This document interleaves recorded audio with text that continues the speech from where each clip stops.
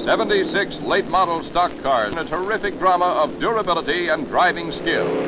This hour and a half will deal out more punishment than five years of normal driving.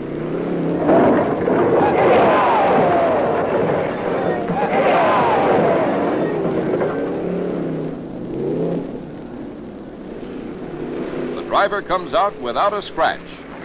Out in front, Tim Flock of Atlanta.